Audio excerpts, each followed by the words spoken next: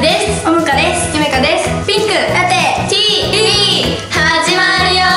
イエーイ。はい。今日の企画は抜き打ちのお財布チェックでございます。本当のお財布を持ってきました。二人に紹介していただきたいと思いますはい。わ、かりました。じゃあ、私からじゃあ私から財布の中身を紹介していきます。まずめっちゃ可愛いデザインこんな感じ。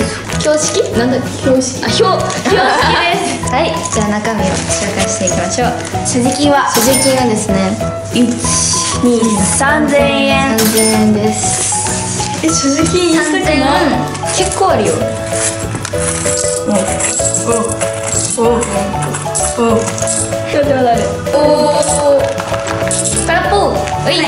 数えられない。あ、これでまず4000円。4000円になりましたね。10円がすっごいあるんですよ。本当だね。10円玉いっぱい。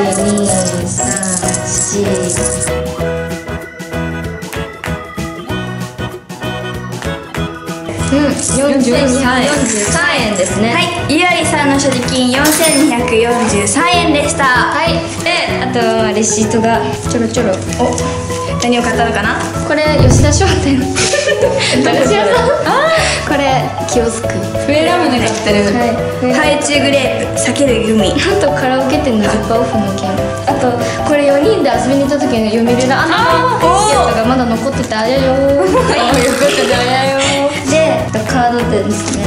名古屋の大きいショッピングモールのポイントカードみたいなやつ。招き猫。持ってる眼科の眼科の診察券みたいな。やつと図書カーおーおーおード。1000円分。の図書カードです。あとはマックのドリンクの券3枚。エステのカードとエステ。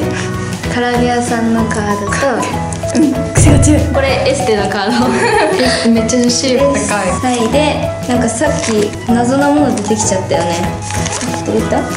意味わかんないシールなんかシールっていうか多分自分で暇な時に作ったやつですねこれ。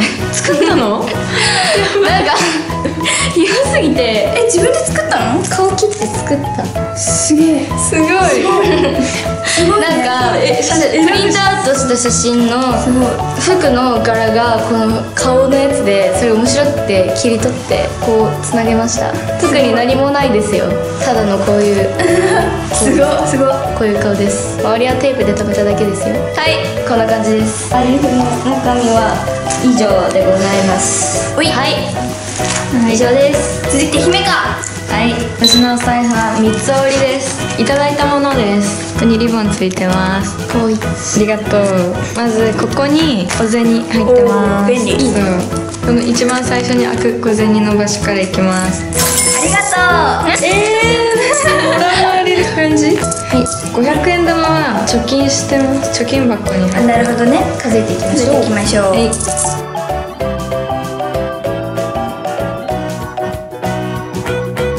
441、442小銭は442円でした。はい、続いては札お札はここです。おおなんかやばい。これはおおなんか樋口一一応一応ちゃんです。樋口さんが入ってる。あとは秀夫くんですね。持ってる。一番自前でございますね違う理由があってですね。あでも富山から来てるもんね。なんか切符落としたら1万円ぐらいしてだから切符落とした時用に持ってて使えませんこんなに休みの日とかは本当にゆらりの所持金ぐらい。カードはここの3つに入ってます。真ん中はこの2つよりちょっとちっちゃいのでこの2つだけ使ってます。こうやって見せた時に左側に入ってたのは au ウォレッそう。トえ携帯。au? うん au あー。一緒。わかんないけどイエ au ウォレットです。これいくらだっけ？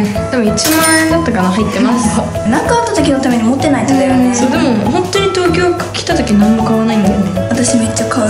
これはクオカード3000円分。図書カード3000円分。図書カードは誕生日に毎年おばあちゃんがくれてだから図書カードはめっちゃあります。こんな感じです。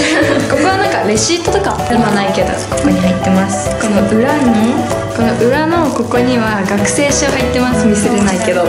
以上です。はい。というわけで抜き打ちのお財布チェックをしました。割と普通だね。うん。でもゆらりちょっと癖が強かった癖が。癖がすごい。癖がすごい。というわけで、うグッジョブでございます。もしこの動画がいいと思ったら高評価チャンネル登録よろしくお願いします